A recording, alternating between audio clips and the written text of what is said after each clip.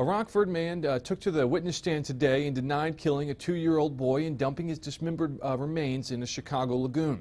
Prosecutors say jailhouse informants told them that 44-year-old Kamel Harris admitted to killing Kyrian Knox while locked up on an unrelated charge in Winnebago County.